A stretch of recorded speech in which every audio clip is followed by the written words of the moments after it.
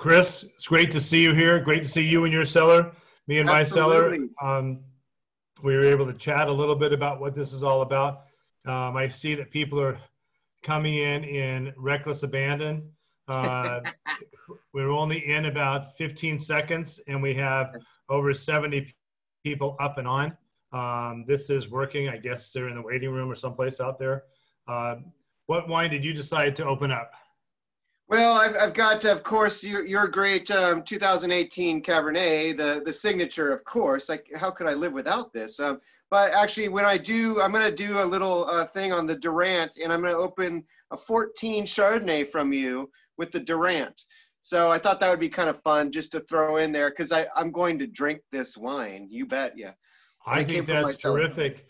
So I see a lot of friends are coming up. We have uh, Bud and Grace from Alamo. It's great to have you here. Carol Anderson, dear heart, sweetheart from Dallas, Texas. Great supporter, great friend of ours. Her father-in-law owned a piece of property that now we have, which is absolutely terrific. And uh, her brother-in-law is a dear, dear friend of mine. It's good to have family up here. And my father-in-law, Jim, good to see you here. Jim, we're going to be opening up one of those bottles uh, that we'll be talking about that you have in your cellar. Jim Blumling, uh, what a great guy. Good to see you here. John Cluett, um, I was really decimated to hear about the challenges that you had uh, down in Big Sur based upon the, the fire. Oh, and uh, I hope everything else is okay there, but I know you lost your trailer and you lost uh, some stuff on the Marble Peak, which is where you live. Uh, Susan and Eric, oh gosh, you haven't missed one at all.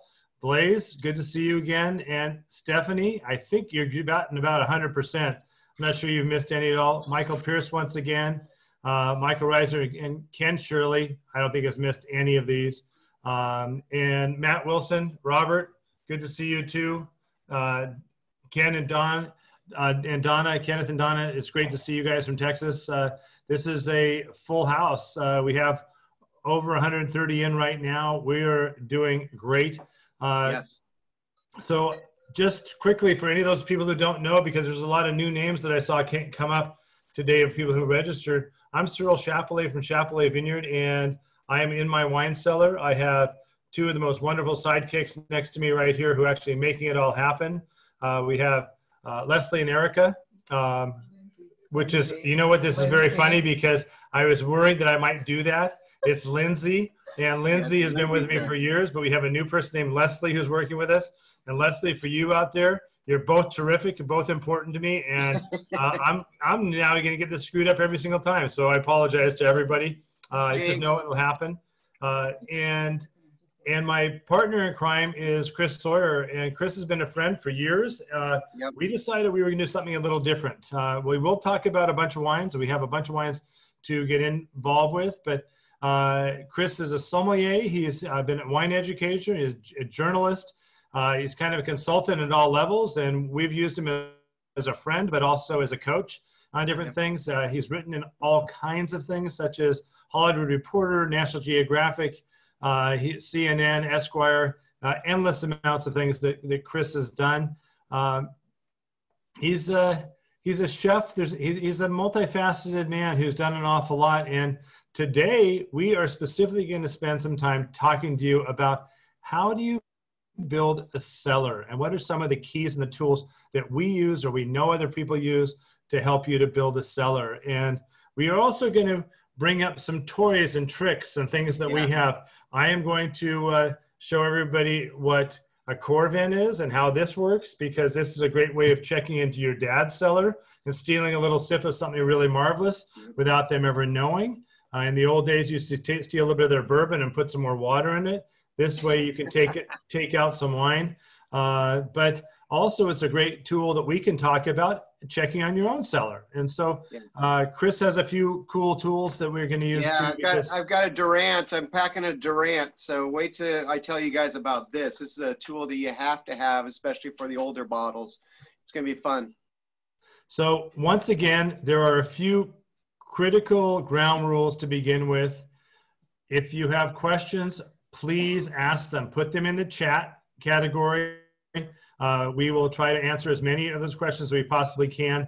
The last two, Chris, have become overwhelming to the point that we couldn't even answer all of them. Mm-hmm. So, um, so based upon that, we will try to answer as many as we can. And the other other thing is that Chris and I encourage very heavily, and I need to use my Durand to make this happen, but uh, we all have to have some wine in our glass, and uh, it has been my recommendation to all of you that you get some wine uh, in your glass right away. And I hope everybody can see this happening, but I am now putting some wine in my glass right here, and I have used the,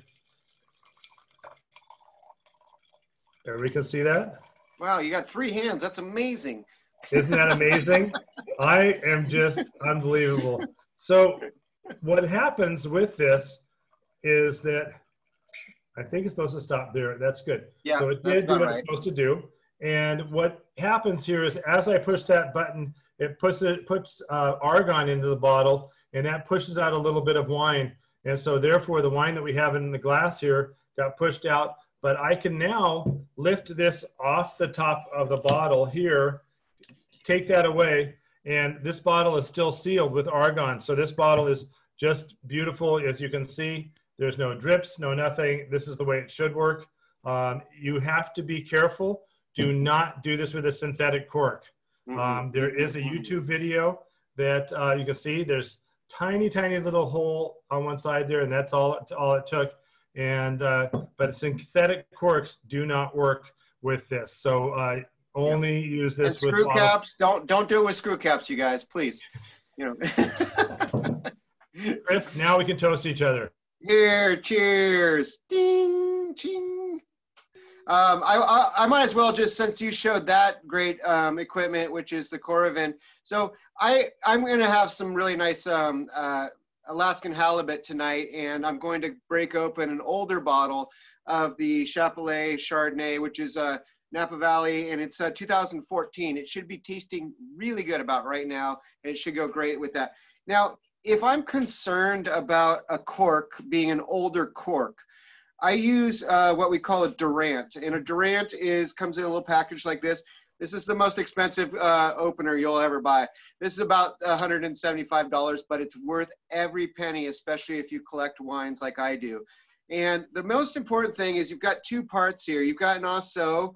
So if you guys know what an Ah-So is, this is the part, like if you don't have a screw, um, you know, a corkscrew like this, you have an Ah-So, and that what it does is goes goes on the outside of the cork, and your regular corkscrew just goes down inside of it. But this is the two parts together. So what you do is you take the cork and you really go down with just a regular technique you would use on a with a corkscrew. You go down like this, just real easy peasy, no problems. But the most important thing is this one little part here, this little um, part that dips down, and that's where you put the ah-so inside of it. So you put the ah-so on the sides of the cork, and I'll show you in just a second once I get it in here. And an ah-so is really something that I've learned to use very, very well, especially with older wines. I mean, these things are, are super critical. When you break a cork inside of a old bottle, it's not, it's not easy to clean up and it doesn't look good and it's not right. So basically that's what it looks like looking back down at it. So this being the ah-so right here and this being the regular one. And all you do is twist it from here. And so you just kind of start moving it um, and you just pull it up and it puts pressure on the outside of the cork to do that. And I found like if you use a bigger kind of um, bottle, so see how it's just kind of coming right out, but it's got both parts there. So this is another good tool that um, when we were talking about which tools will we use, I thought that would be a good one to show you guys what a Durand is. So that's a Durand. Cheerios on that one. And I will drink this tonight, I bet you. Yeah. So that is one of the greatest tools. Um, so we are in my cellar and, and we also use this as a dining place. And we had a dinner here uh, last week with a friend of ours who is 76 years old. And we decided to have a bottle of 1976 from uh, Chappellet. Um, yeah. And that same tool, Chris, that you used was really helpful with that. And the fellow who came to have dinner with us brought a bottle of 1953 Lafite. And in doing that, both of these really needed to use uh, the Durand to take those corks out. Now, the fascinating thing about that, and this really speaks to what we're talking about, when we sold that bottle of 76 Cabernet, we sold that for about $15 a bottle. That bottle and the website, uh, if you looked on, on the internet to find that, it's 200 to 400 dollars a bottle now. The bottle of Lafite is three or four thousand dollars a bottle now. He he picked up that bottle for 25 dollars. It still had the sticker on it. Um, so just understand that's part of what we're talking about here is how do you find things that are reasonable to put in your cellar that gives you the long-term ability to uh, to have some wines. I see a number of questions that are coming in very quickly. Um, we do have a lot of material to go over, and we're going to try to get through an awful lot uh, today about about many of these things. So many of the questions that I see people asking will get answered, but we want to make sure that we do answer them uh, correctly. Um, the the first question on the Coravin that somebody asked is, how long will a bottle last if you use the Coravin on it? Coravin tells you three or four months with yeah. no problem. Um, I know people have kept their wines longer, um, and it really has to do with your cellar conditions. Again, you still want to keep the bottle on its side where the cork stays wet, so you don't want to just turn it up just because you. Now, if it starts to drip out of there, you probably want to drink it and go ahead because the seal, especially if you take put the Coravin in two or three times. So um, it can last many months. Uh, I typically would probably drink it within the next month or so and just I keep those bottles aside. Um, one of the things I use the Coravin for is if I'm going out to a very important dinner and I want to try a bottle of wine that I'm not sure about, I can take a little taste. I would not put this much wine. I would just take a little tiny taste out of it to see if the bottle was sound. And that's what I use it for mostly. And, and I would just add to that, um, Coravins are great. Um, I tend to use them on younger wines because, and I'm going to do stuff with them. If I've got wines in this cellar, seriously, you guys, I'm going to share them with other people, not just myself. So that's the most important thing about my cellar is really sharing is caring, right?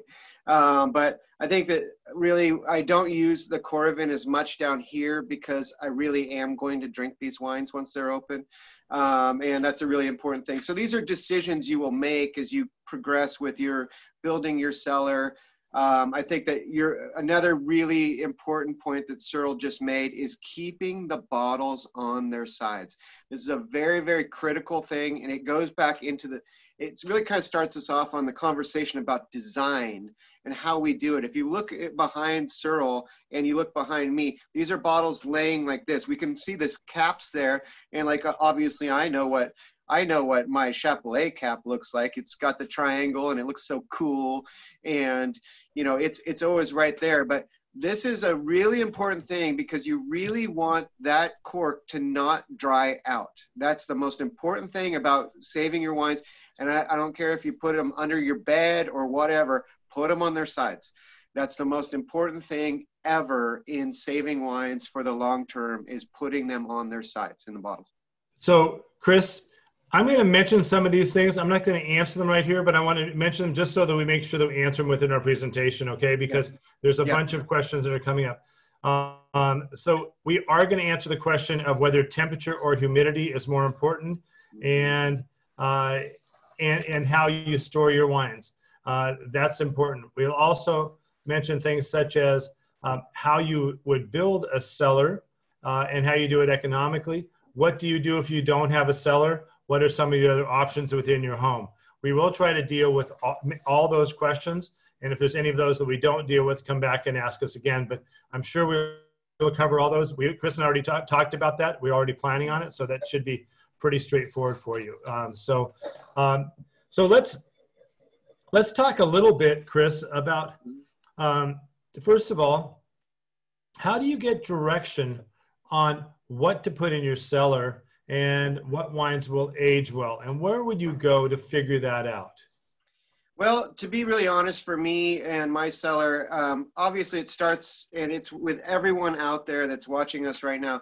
It starts with what you like to drink you know that's that's the first uh, focal point because in some cases you might be really getting advice on what to buy that of some some sort that you like to drink in other cases you might be coming to Chappellet and and visiting them and and them advising you on some wines that are very age worthy so really finding those things and it, it might be white wines it might be red wines it might be everything it might be bubbles too and, and bubbly um, you know high class champagne does age.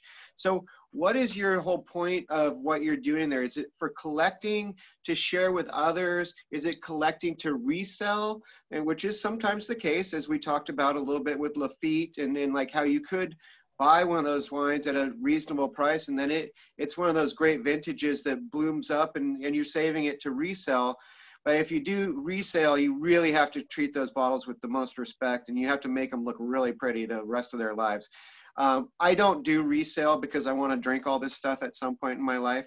Um, but I think that the other thing is what really is the process of what you want to do. I mean, there are certain Cabernets, and we're going to talk about some from Chappellet that I think are the most age-worthy. And then you've got the the Cabernet, the signature Cabernet, which I think really tastes good young, but can be saved for a while. And so, how much do you buy of that? I mean, I buy a case of the the signature just off the the starter because I'm probably going to share that with a lot of different people.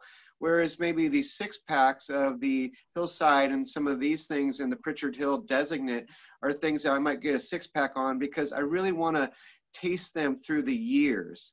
And that gives me a lot of longevity and also different points to taste those. So I think that's kind of the starting point about what you want to do. What is the size of what you want? And do you want to mix it up a little bit? Get do you are you a Napa Valley fan that just loves Cabernet and that's all you're going to put in there? That's good. Um, I think that uh, Cyril and I would argue that we want everything. I mean, when you say Cyril that you want everything too, like me, um, I can't learn enough about wine, so that's why I put a lot of these, you know, Italian wines, French wines. Um, it's a big mixture down here, so I'm really trying to take care of who is coming to dinner tonight, and that's really what I'm looking at. And maybe if I'm going to pull a, a, signature old old bottle out of here, I've got it kind of customized for that person to really enjoy. And I think that's how I've planned out my my cellar and what I drink. You know, I, I do follow the charts. Uh, you know, as far as or even just my memory of some of these wines and how they were open. You know, like three years ago, and yeah, it's about time now, and let's do it again. And I'll say just in closing on that remark, I want you guys to all think about this. You know, um, 2017 was the 50 year anniversary of Chappellet. And I'll tell you, one of the greatest testaments ever to aging wine in my life that I've ever experienced is the the retrospective tasting that we did at Chappellet. These are wines that were meant to age, and we got to see it and taste it. You know, Andrea Everett Robinson and I, and all these great sommeliers that were there with us, with Cyril and the family, tasting through these old bottles. It just is a great thing about why aging is so important because they're not the same wines that were were bottled back in you know 1978 or whenever that vintage that we were tasting right there on the the panel was. But it's how it's really matured as a wine. And that's why these things are so fun behind Cyril and I and, and why I really encourage people to start building cellars for themselves based on what they really like to drink.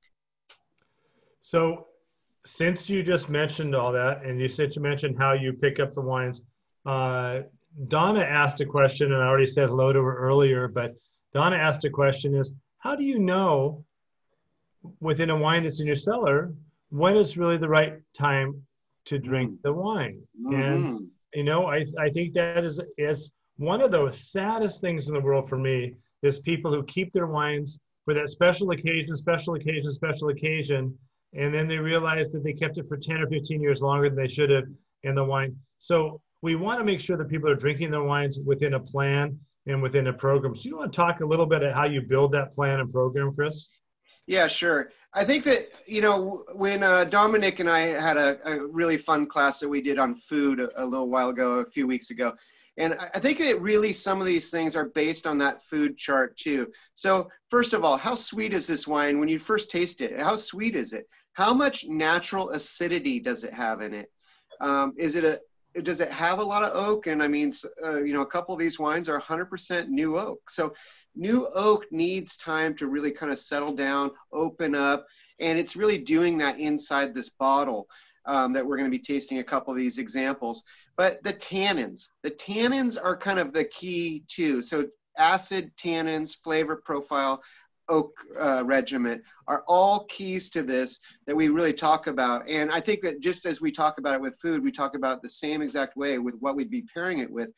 It's really like if it's a really big tannic wine, we're going to be doing lamb that night. We're going to be doing a, you know, ribeye that's about as rare as you get to cut it off. But the fact is, as it progresses and the, those tannins start becoming more gentle and softer, that's where we start going, okay, maybe we're going to be tasting this very soon now. And it's kind of, I think that it's hard to guesstimate um, as we would.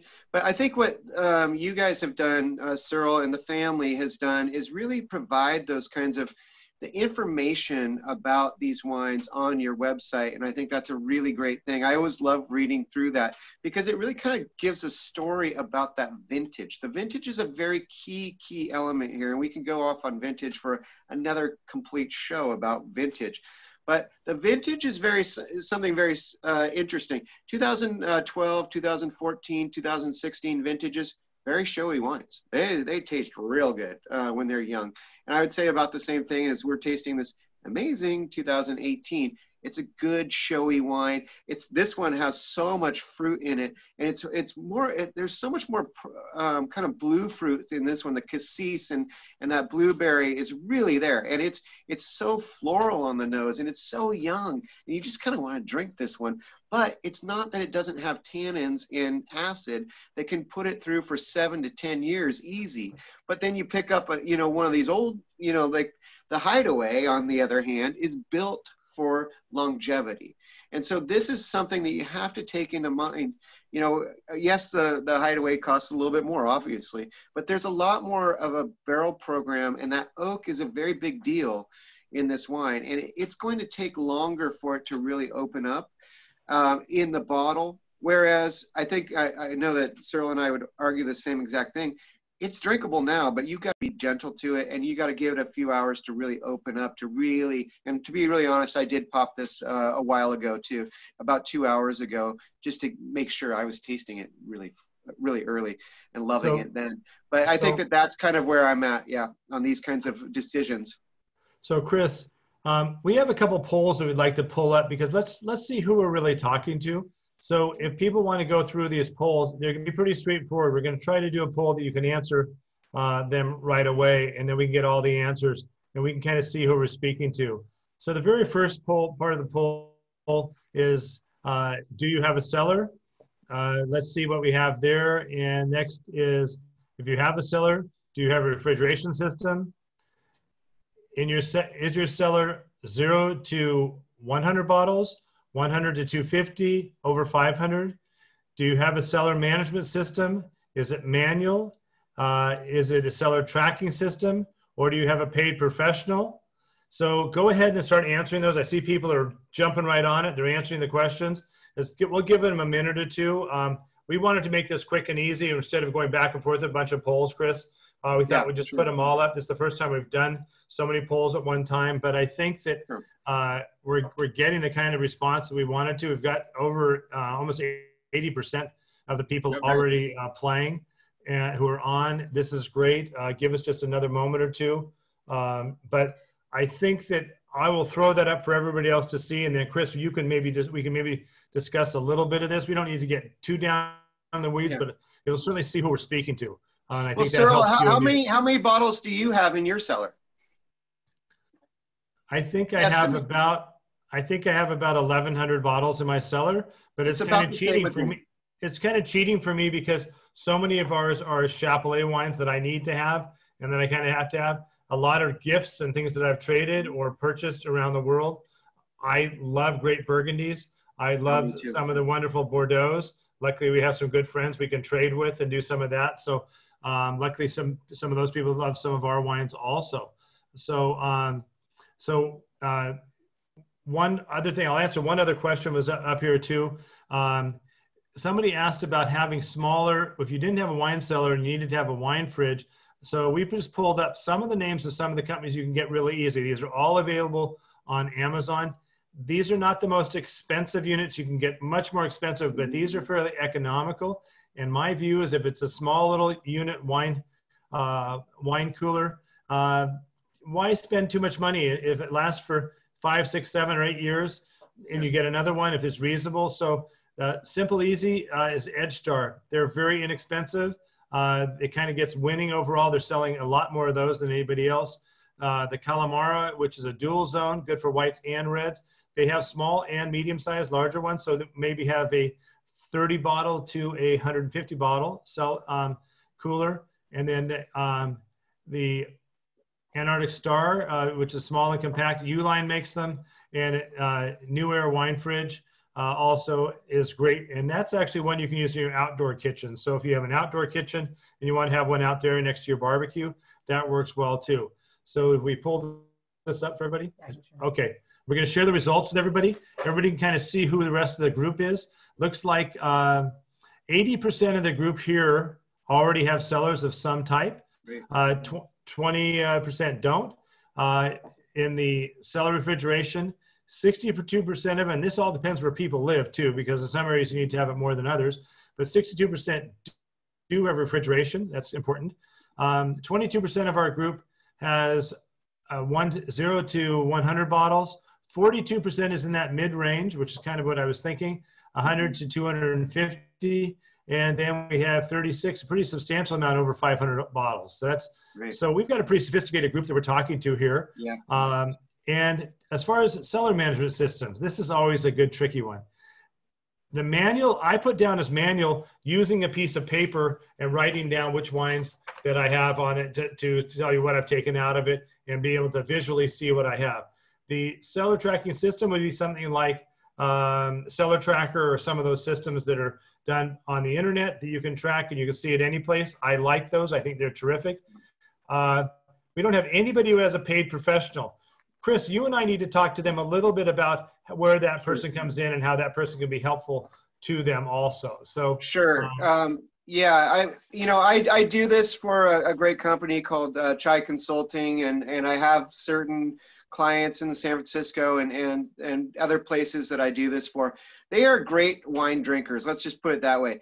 Um, my probably my biggest client is more of a wine drinker than a collector. They are going to drink everything they have. I, I will tell you that they they don't really want to sell these wines they don't want to resell them. They want to enjoy them and they want me to really come in and and pick out wines actually that fill in holes for them that they don't they don't have or to keep them enlightened on some new things that i might have tasted that i think they'd really like and I, I, think that we were also talking to a little bit, Cyril and I.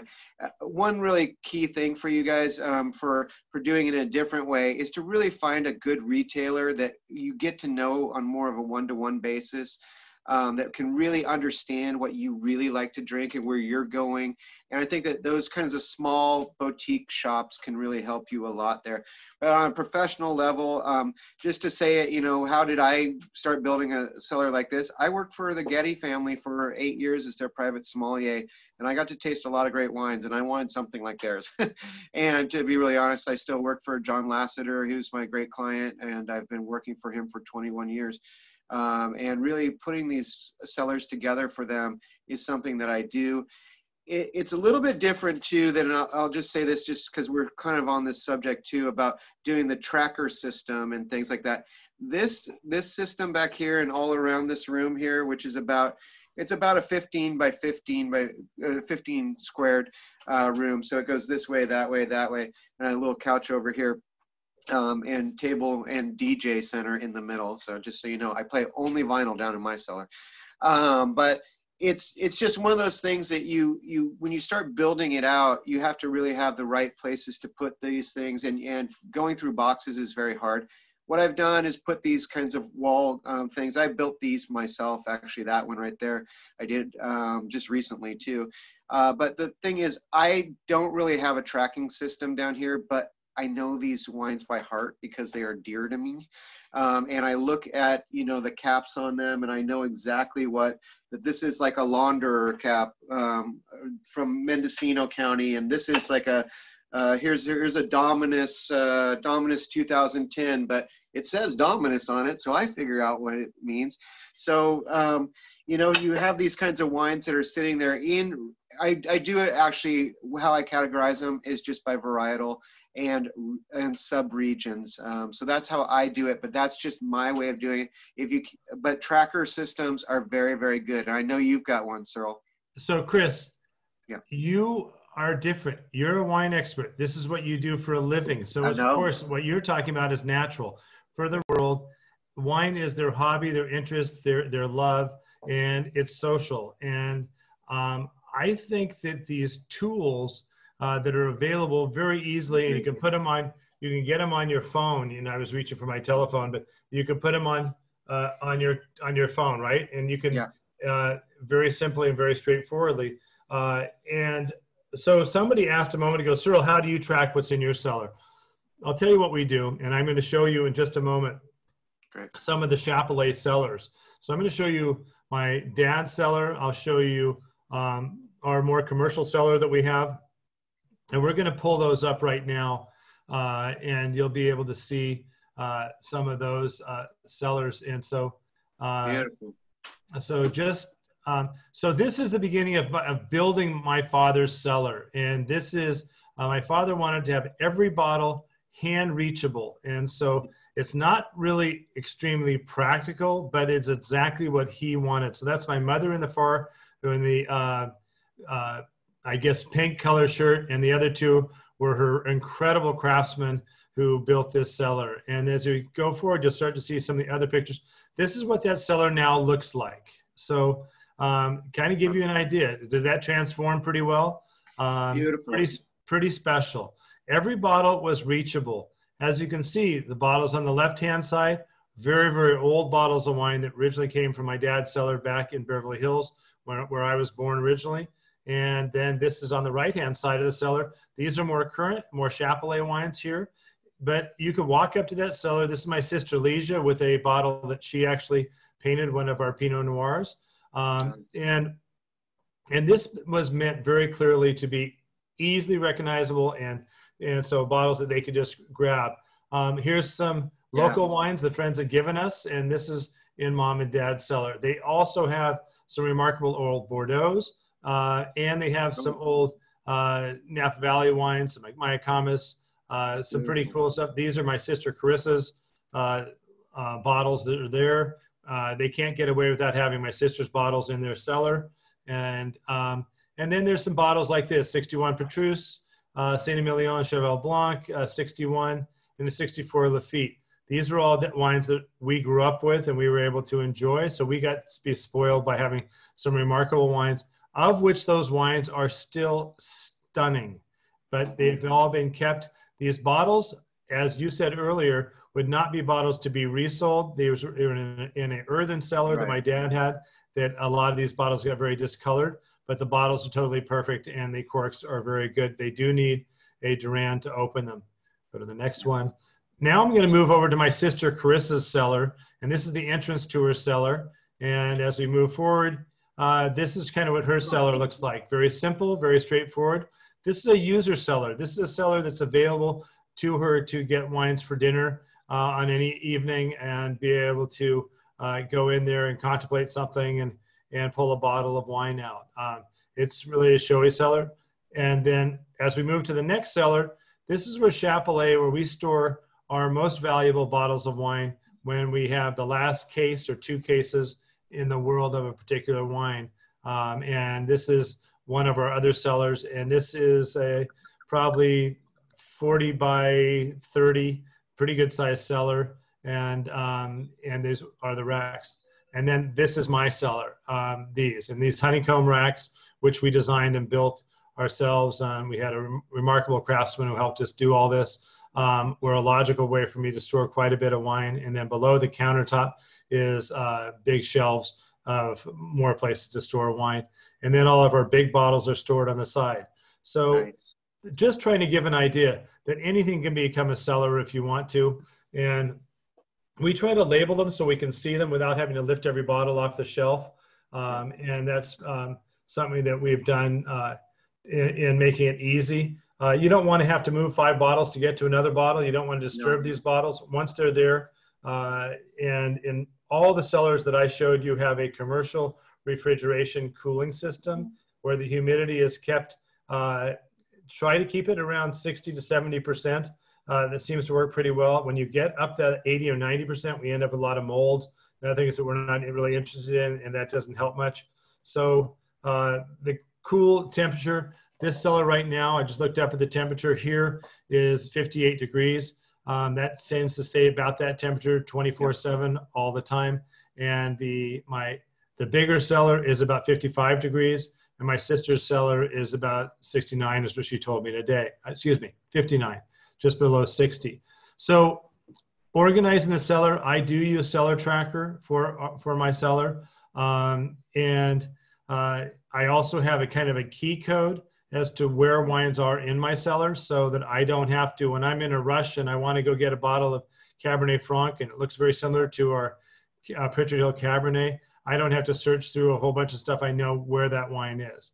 I also know where uh, my Bordeaux's, my Burgundies, uh, and my Chardonnays and, and, other white wines are also. So that's really uh, trying to be simple about it. But I could also tell you if I was in at a restaurant in any place, open that thing up, take a look at it, know exactly what wine's in my cellar.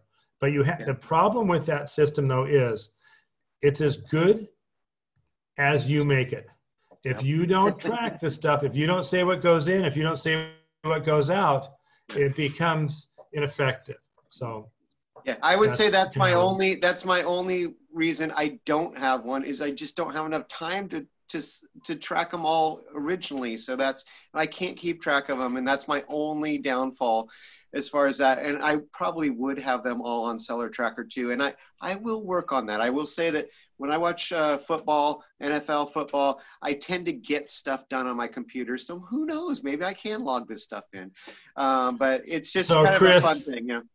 So Chris, we have a number of people when they looked around my cellar and they look behind me, they see that their bottles are standing up. I got to let people know those bottles are standing up for them. We stand stood them up so we had something to kind of show. Uh, but typically, within my cellar, if you look around my cellar, the bottles that are upright around the sides are either a few champagne bottles um, and or actually empty bottles that we maybe had for an occasion.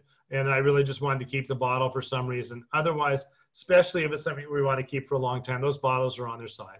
So yeah, just absolutely. to answer the, the question. And I, yeah. lo- I love the fact that you did model it after kind of a the the bees like little um, almost like the honeybees of the old days, like you and I remember from uh, where um, Freemark Abbey is now. It used to be a candle shop with beeswax, and it totally reminds me of Napa Valley because of that. And it's just perfect. You just slide those in there, and it's really it holds them in place, and that's a really important thing. Sometimes when you have bigger format bottles, that's great, but you need to make little areas for those and I, am sure you have a lot of those in there too. But I think just the design of that holds those bottles together as you stack them up, and they kind of uh, work well to put a 12 pack in there. That's that's great. Like so, Chris, I've got to be completely honest. Uh, Wendy Heilman at at Pebble Beach, who you know yeah. well. Oh, I know her uh, very. Wendy very Heilman well. actually. So she um, is going through some big challenges right now, but she's a dear, dear, dear friend, and uh, Wendy actually uh, found somebody who designed this structure for her first. And I asked her if I could copy it. Uh-huh. She gave me the blueprints of what she had done. And I will tell you, it's one of the most complicated systems you could possibly build because every single cut has to be absolutely completely perfect. Otherwise, when you go two over, three over, then they're kind of cattywampus and they don't work very well. So, uh, so just giving since you mentioned it, I, and I should have said it earlier, but it was really Wendy Heilman. So I believe that a good idea that somebody has is probably better than you can make yourself. So why not yeah. take advantage of it? Um, yeah. So Tom, Tom Hansel is asking a question. Uh, are there older bottles of Chappellet available for sale? Ah, That's a great question. question. And yes. from time to time, we do make wines available. We are doing re-releases on our Pritchard Hill Cabernet. In the future, we'll be doing re-releases on our uh, Hideaway, but we don't store a lot of Signature Cabernet and some of those wines for long-term sales, and that just has to do with uh, the market tends to suck those up very, very, very fast, and um, we we just don't. But we've but we do make other wines available from time to time, and when we feel that a wine is getting to a spot where it's quite terrific, uh, then we will re-release that wine. We have a program right now to have a re-release in five years and re-release in 10 years of our Pritchard Hill Cabernets and of the Hideaway and some of those wines in those categories. So yes, there is a program for doing that. Absolutely. So, um, happy to happy to answer that. Uh, one of the other things that that I think is is important with with building a cellar, and as you mentioned earlier, is and I'm just going to reiterate: if they if you can find somebody who understands your palate, and that may be a sommelier at a restaurant, that could be a wine store owner, it could be a clerk at a store. But if they really understand what you're looking for, and you start realizing when they buy a bottle or they order wine for you or get wine for you, that that wine is really what you want, you should listen to those people and you should really support them by getting some of those wines and following up with it because that's where you get that value 10 15 20 years later if they did it right. And uh, so you don't have to know all this. Nobody is a complete expert in everything.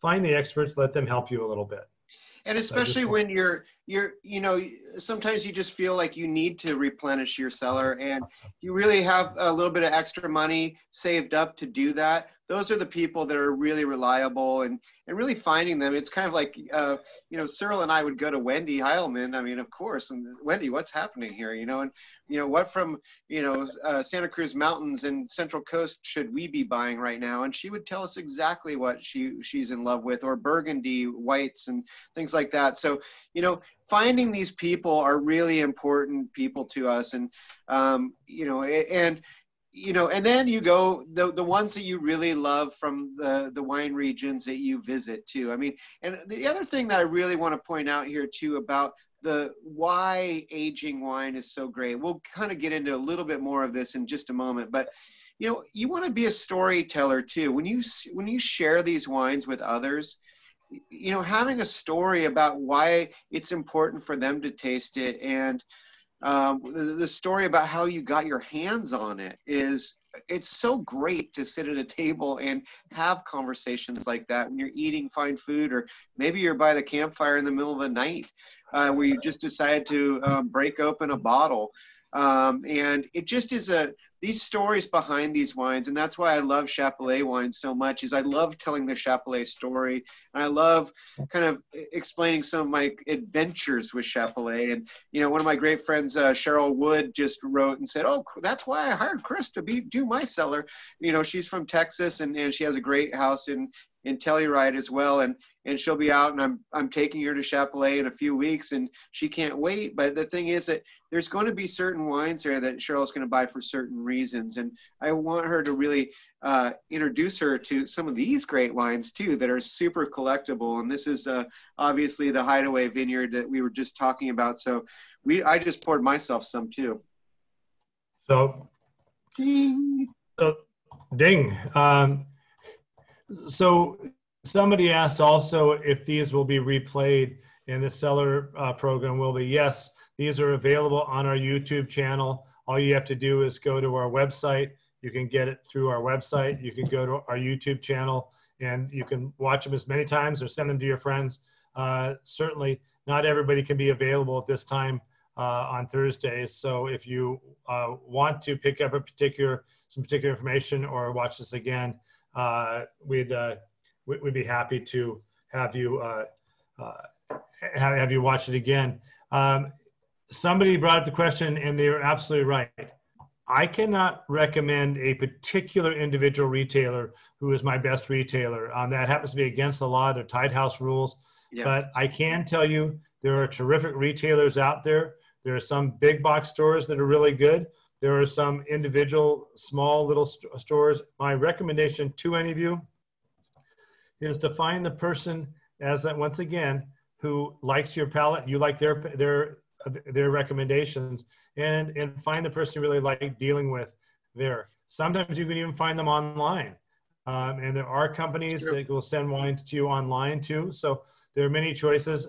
if you ask me outside of this seminar, I will probably tell you directly who those people are, but I can't say them uh, publicly because of what we call tied house laws, which yeah. uh, don't allow me to promote one person over over another. It happens to be old laws that came from prohibition, yeah. but they still sting us from time to time. So it's a uh, a tough deal. The other question that somebody asked here, which is kind of interesting, have I lost a bunch of bottles from the earthquakes uh, in my cellar? Um, something that Chris noticed, and on Chris's cellar, he has a higher lip at the edge of his yeah. bottles to keep, keep his bottles in. Um, yeah. In my cellar here, I've got a lot of space there. The earthquake would have to be very, very substantial and really shake for a long time to uh, to shake any of these bottles out. I have not lost a bottle here, um, and and I've I've been fortunate. So no, this and and think of the package of, of what this honeycomb does. It works to kind of everything is got a lot of surface space around it. So they're not like a lot of spots for them to move around. They're pretty tightly tightly there. So um, so it is there. Um, so Chris, yeah. Um, here's let, another let me, let me go back. What, can, can I can I say one thing before we get off the subject? Because sure. you brought up a great um, thing about the retailers just a moment ago. Um, I also want to say the same thing about sommeliers at great restaurants. If you dine at a great restaurant often, and you've become friends with those sommeliers, use them as your consultants too, just because they do have a wealth of information and they start to get to know your palate and they will tip you off on some things. Uh, you know, one of my great friends, uh, you know, Tonya Pitts down at uh, One Market here in San Francisco. She's a dear, dear, darling friend. And Tracy Dutton, you know, from the Culinary Institute of America, who I hang out with all the time. And these are wonderful, wonderful people. And there are so many great um, you know, sommeliers at these restaurants. Obviously, we don't have all of them open right now, and some of them have closed, and uh, it's really a sad thing. But the fact is, they are a great resource for you to use too, especially if you're a regular in that restaurant and you trust them to make those decisions for you at the table. They can actually be a really good advisor for you to think about some wineries, especially if you're going up to Napa Valley obviously you're going to go visit Chappellet. That's a no-brainer. But you know what what else is there that might be kind of fitting in in to fill some holes in your cellar as well? So the uh, the question always comes up: What happens if I don't have a cellar? How do I protect my wines? I will tell you my recommendation. First of all, what I want is two things. I want the most even temperature I can get that's nice and cool.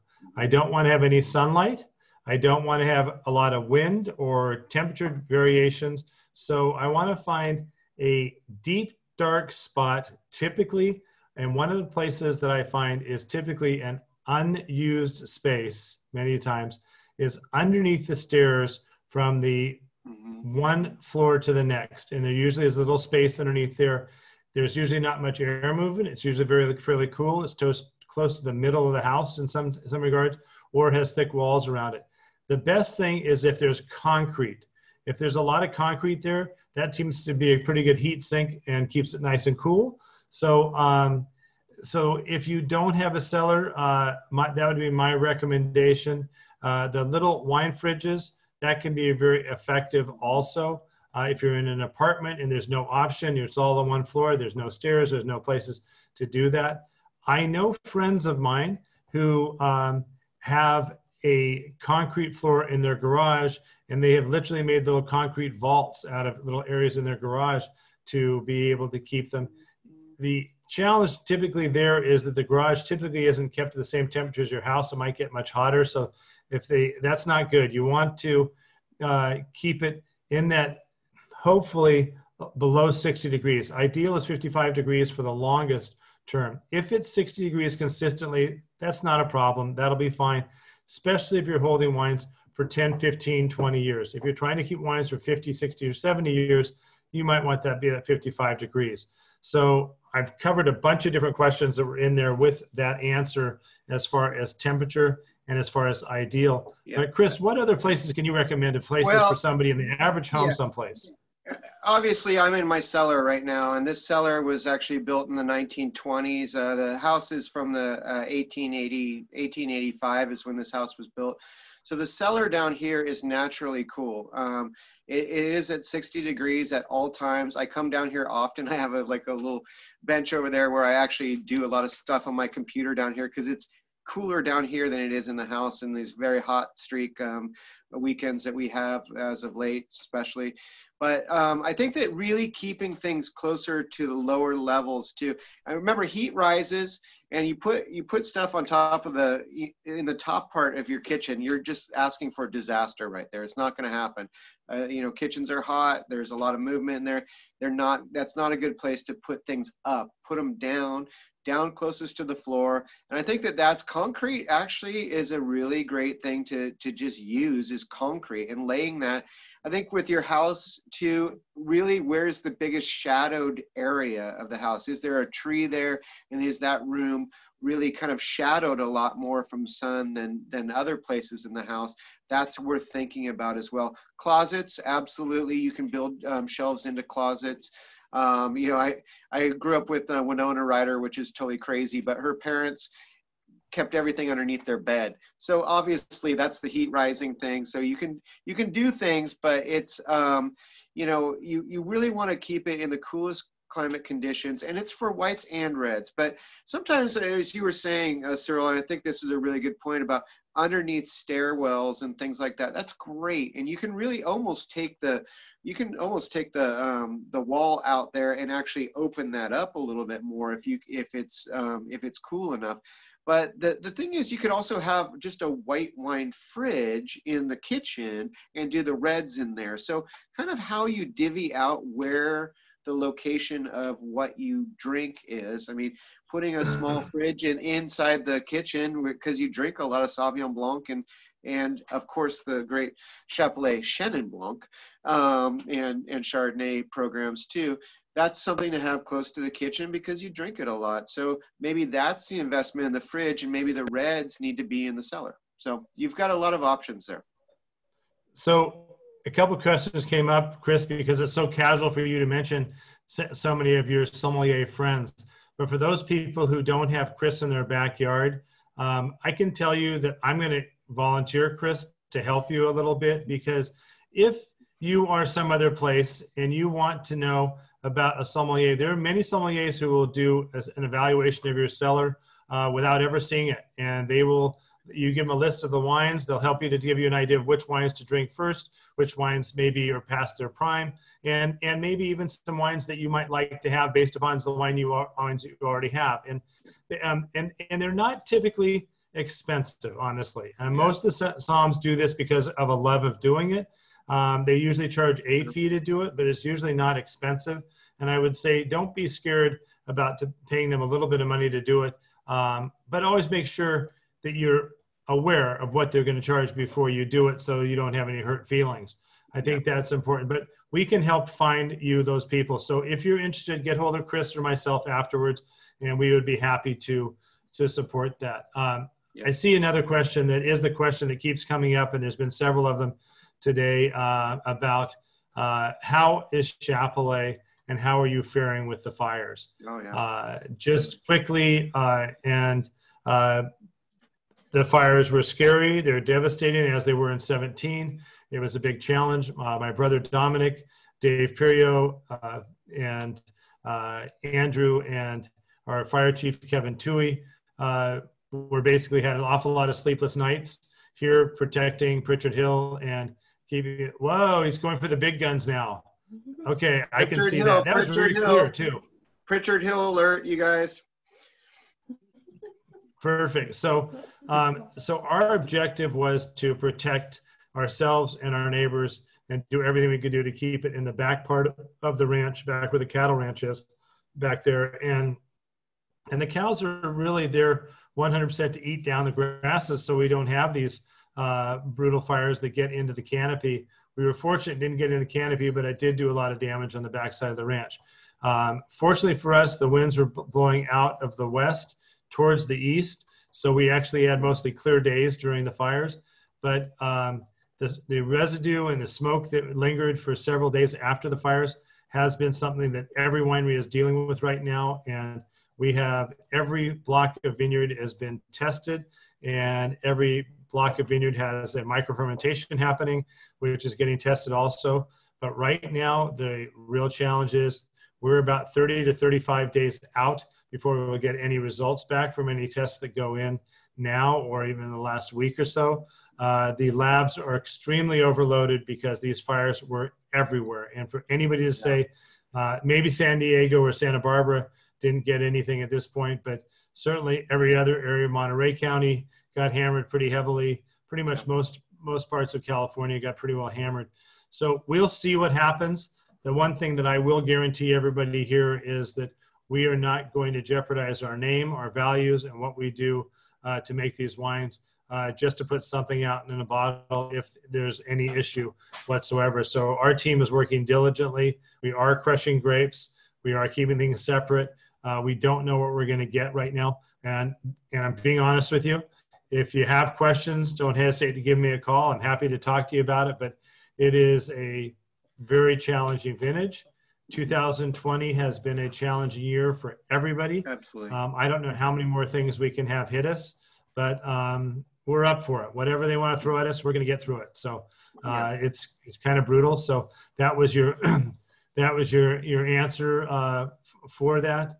Um, and what another question came up, uh, and and you might want to mention this uh, and talk about this a little bit, Chris. The question came up when you were using the Durand. Why would you use the Durand over an Ah-So? Is there one that's better than the other?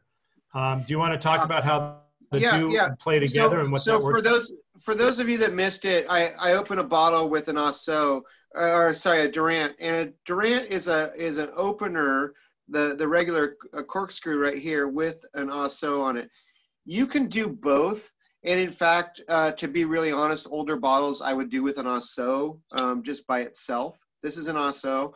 Um, and I do not know where that name came from. It is a strange name, um, but the fact is when you use a regular opener in there you have the the, the way to check um, a, a, bottle just right off the bat is to put the uh, corkscrew in it and see if it starts to deteriorate if it starts to deteriorate use the Ah-So but sometimes to guarantee guarantee you that that it's not going to crumble even though the corkscrew goes into it is to put the Ah-So on the outside. So you've got the pressure from the outside as well. And so you're spinning it with this using it as the as wrapping around and loosening it. That's probably the most important thing is loosening the cork from the side of the bottle with the ah-so and then pulling it out with this the other thing, and, and it was kind of funny because um, Cyril and I were talking about this before, the use of an ah-so can be very, very helpful with a large format bottle. A large format, let's just get into that real quick. Why is large format uh, an advantage? Uh, those are those can take a long time. They, they actually soften the wines a little bit uh, better uh, through time because you you've basically got a mini um, mini um, uh, barrel basically right there trapped inside of a bottle.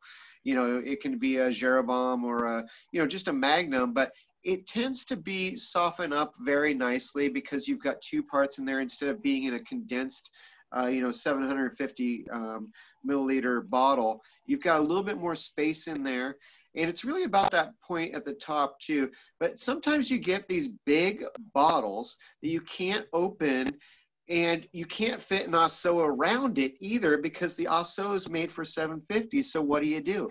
And my my new one has become where you put the ah-so in the outside and stick it around the cork and loosen the cork up that way. It really does help. I mean, because you don't know if the cork's stuck to the side because you have no idea if that's really what's going to happen. So just using the Ah-So as a kind of a, a thing to loosen it up is, is an advantage to us. So, I mean, I think Durand did a good job by putting these two things together. I use it often and it is really a good investment for, you know, something that, like I said, you really do get it stuck um, and you, you've got to just push the, push the cork down and you've got to filter it out and it's a real mess. And I'd say one more thing too, just just to close this part out. People ask me all the time, what if I get a Magnum or a Jeroboam or a three liter or whatever, and it's corked? It's a very good question. It's a very, very good question. I had a lot of them at restaurants and everything. The fact is, there's one thing you can do, and it's the only thing you can do. I mean, if, if it happened with, with Chappellet, they would uh, kindly replace it if it's replaceable. But the fact is, if that happens, it's an old bottle and you have no way out. The thing to do is take saran wrap. I know you think I'm crazy right here. Take saran wrap, wad it into balls, put put it into a decanter, pour the wine in there, let it sit for about an hour, and then pour it into glasses. And you would be surprised that it is going to be less corked than before. And what it is, there's a certain bond between TCA, which is the cork part of of a of a bad of a wine that's gone bad just because of a bad cork or exposure, um, and it actually does cling on to saran wrap of all things. And that is a UC Davis trick that I found out, and I am a UC Davis grad, and it was taught to me by Michael um, Michael Richmond, uh, who founded uh, Acacia Winery. So thank you, Michael. That was a great tip. And if you guys have a great bottle and it's gone bad, you'd be surprised how many people are ga- gathering around. Oh, how's the bottle doing? How's it how's it doing with the little clusters in there? And you'll you'll be an entertainer if nothing else that night. Well, Chris, some of those little tricks are part of what we were talking about that we wanted to do. Share, share some experiences, share some little tricks and tools that we have on a daily basis getting back to it, the reason why we chose the wines that we did today, this was all about Cabernet, and then we of course threw the Cabernet Franc in. But starting with the signature Cabernet, going to the Hideaway, then going on to our Pritchard Hill, which you and I are drinking right now, um, and then moving on to the Cabernet Franc. Every one of these wines, and I will uh, be very clear, every one of the wines that we are trying right now is easily ageable for 10 years. And that's speaking of the signature Cabernet, um, all the rest of the wines here. And I would say three of them, maybe even four of them, are more like 25, 30 year wines as far as aging. The challenge is how do you have enough of those wines to be able to try them farther on? I will tell you one trick that I use in my cellar for wines that I buy from other countries or from other, from other friends I would typically buy six bottles or a case.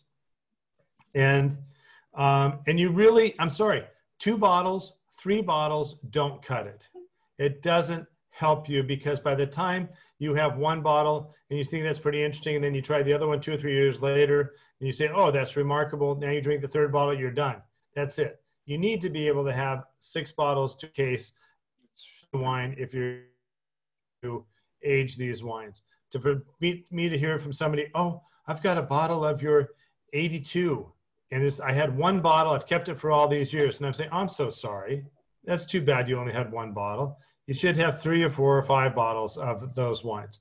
So, long and short of it is, whatever we can do to have enough wine to make this happen, one of the keys and one of the tricks that I do is I will pull a bottle out of my cellar right there if it's and if it had a case of something and I will write down some notes when I'm finished after dinner about that wine, stick it back where that bottle came for, and, then, and let's say there's still 11 bottles left. It was the first bottle out of it. I will write my notes.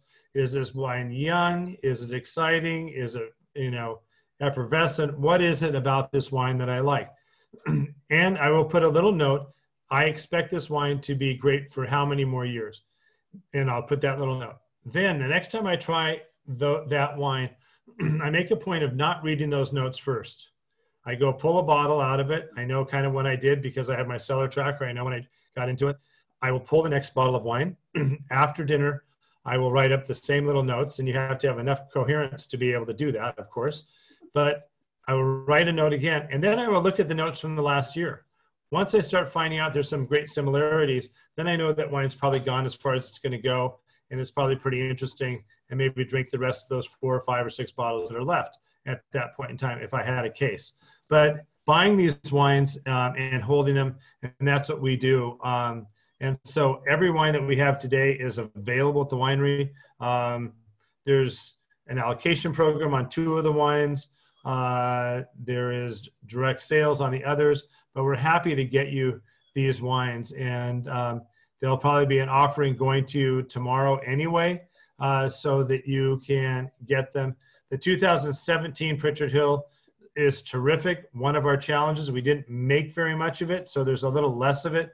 Um, 2018 will be a little bit bigger year. We'll be able to fulfill more people's allocations in 2018, but 2017, just didn't make as much wine. No question about it. So uh, that is part of the world. Um, and uh, the uh, there's a cellar starter pack, uh, which will be six bottles, three bottles of signature, uh, three bot and Cabernet Franc at 375. Retail is four uh, 465. So um, you're getting a good good deal on that, and that'll be tomorrow. You'll get you'll get a message emailed to you. Um, so the other thing I always like to talk about, are the Cab Franc. So try that. I'm um, here's a bottle of Cab Franc right here also. Um, hopefully you can see that. Um, so one of the things that I've enjoyed in these tastings is being able to recommend food items to go with these wines. Yeah. Um, I'm going to stay stick with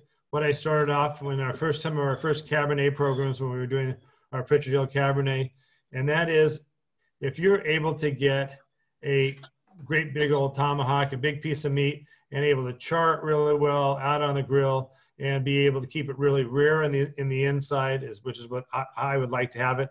You can always cook meat more.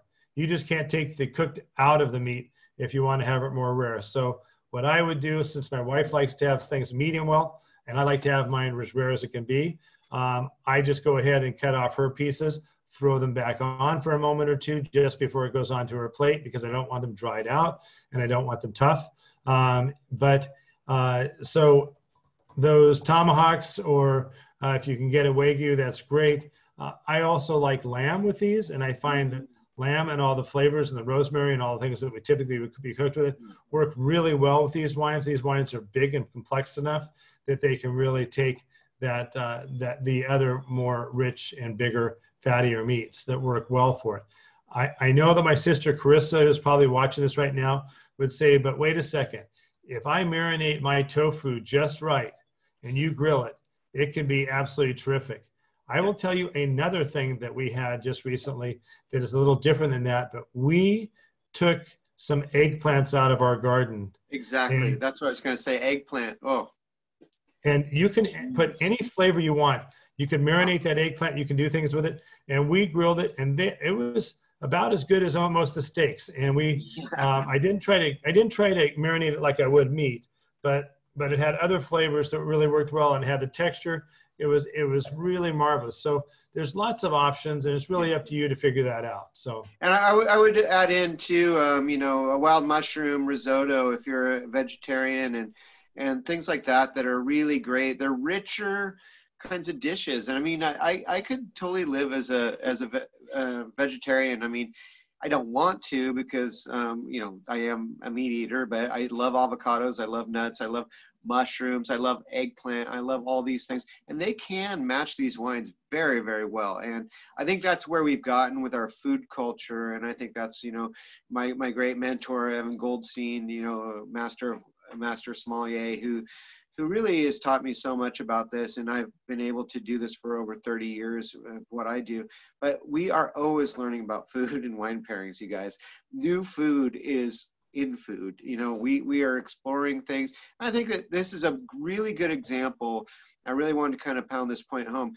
We can't go to as many restaurants as we want right now, um, and I think this is why our cellars are really important to us. Is really sharing with small groups of people and having these kinds of experiences at your picnic table out in your yard. Um, it's as important as as going to the fancy restaurant but it's really having the right wines in your place. And that's why you know when i really think about this and what what you know older wines i have from Chappellet in here that's what i'm really kind of doing because i'm investing in these new wines right now because they're going to be the future for what i have down here. You know the older wines like this um where is it my chardonnay that i pulled out the the 14 this is this is a good one to be drinking right now, especially with that halibut that I'm going to have tonight. And that's it's a good time. It's six years old, and and why why can't I do it? There's no one stopping me right now, even though I can't be sharing it with a lot of other people. Taking the time and using these wines for your advantage, and and I think that that's the whole thing. I want to say one thing too about the the Cabernet Franc. Cabernet Franc is way in vogue right now, you guys. Cabernet Franc has never been as good as it has been in America as it is right now. And I think that one of the leaders in this movement has always been Chappellet. I'd, I'd, also put Lang and Reed and a few others in there, you know, great Pam Starr and some of these great winemakers that really care about Heidi Barrett, of course, um, loves Cabernet Franc. So now all of a sudden Cabernet Franc's becoming uh, in vogue. It's always been there. It's just you know, certain people are growing it better than they were. I feel that um, Chappellet has always been consistent with Cabernet Franc, and that's why I have a lot down in my cellar. And it's the same thing with Chenin Blanc. And these are two. When you think about culinary lands of the world, you go to France. I mean, you go to Bordeaux. I wouldn't call it culinary.